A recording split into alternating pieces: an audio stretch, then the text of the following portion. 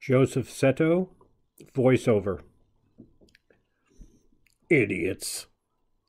They breed in all shapes and colors. Some are born stupid, others grow into it. But these folks I'm going to tell you about, well, let's just say they're proof.